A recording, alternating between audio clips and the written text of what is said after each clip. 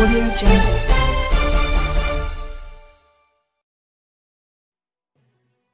Salam sejahtera berita hari ini dipetik dari agenda Delhi.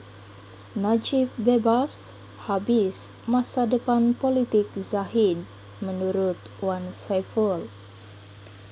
Masa depan politik Datuk Seri Ahmad Zahid Hamidi dalam bahaya sekiranya bekas Perdana Menteri Datuk Seri Najib Razak diberikan pengampunan diraja dakwa Datuk Wan Saiful Wan Jan.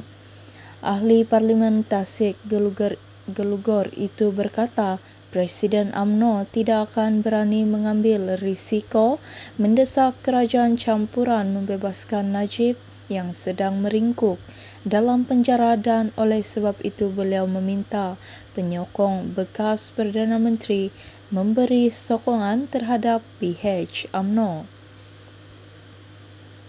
Datuk Seri Ahmad Zaid tidak akan mahu Najib keluar penjara. Najib keluar, habis masa depan politik Ahmad Zahid, kata Wan Saiful.